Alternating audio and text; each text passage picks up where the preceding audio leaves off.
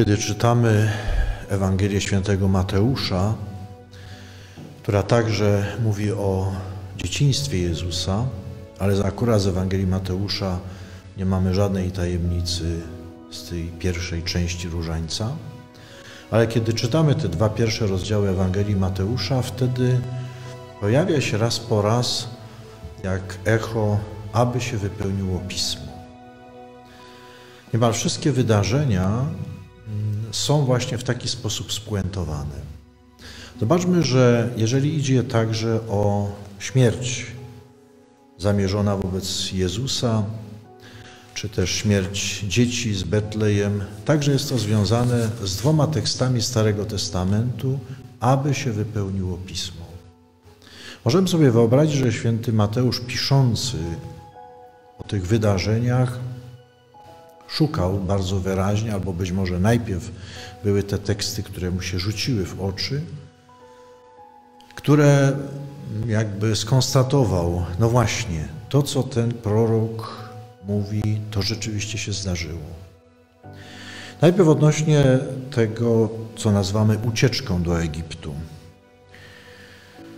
Anioł Pański ukazał się Józefowi we śnie i rzekł: Wstań, weź dziecię i jego matkę i uchodź do Egiptu. Pozostań tam, aż ci powiem, bo Herod będzie szukał dziecięcia, aby je zgładzić. I później, kiedy pozostał aż do śmierci Heroda, to pisze właśnie w Egipcie, to pisze Mateusz, tak miało się spełnić słowo, które Pan powiedział przez proroka: Z Egiptu wezwałem syna mego. Słowa e, z proroka Ozeasza, który generalnie w tym miejscu, w jedenastym rozdziale, e, zachęca do radości. A mm, ten, tą, tą radość także e, wiąże z powrotem do ziemi obiecanej. A więc w takich barwach, w takiej nadziei, w takiej obietnicy mm, właśnie Mateusz upatrywał tego spełnienia się, właśnie na Jezusie, najpierw ucieczki do Egiptu, do miejsca bezpiecznego przed gniewem Heroda, a później także spełnienie się tych słów, że Syn Boży powróci do swojej ojczyzny z Egiptu, wezwany przez Ojca, którego umiłował. Z kolei e, ta rzeź, którą tak określamy jako rzeź niewiątek, jest jakby zapowiedziana przez e, proroka Jeremiasza w słowach krzyk usłyszano w Rama, płacz i jęk wielki. Rachel opłakuje swe dzieci i nie chce utulić się w żalu, bo ich już nie ma. Rama to miejscowość na pograniczu kiedyś podzielonego państwa północnego i południowego, ale to także miejsce, które powinniśmy pamiętać jako mm, obóz przejściowy dla tych, którzy mieli być uprowadzeni do, w niewolę babilońską. I tam pewnie mogło się także zdarzyć niejednokrotnie rozdzielenie rodziny, pozostawienie jednych, opuszczenie drugich. Mm, Rachel to, jak wiemy, matka Józefa i Beniamina, tych dwóch wyjątkowych, byśmy powiedzieli, synów Jakuba, zwanego później Izraelem. I wreszcie trzeci element, który tworzy to opowiadanie, które słyszymy z Ewangelii Świętego Mateusza, to Herod. To ciekawe, że w, powiedzmy sobie w czasach nowożytnych albo bardzo nam współczesnych zaczęto kwestionować, czy to jest w ogóle możliwe, żeby taka rzeź się dokonała.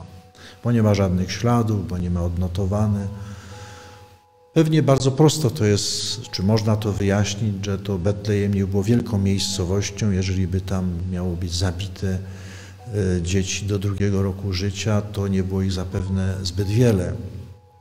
Natomiast nikt w starożytności nie podnosił takiego zarzutu.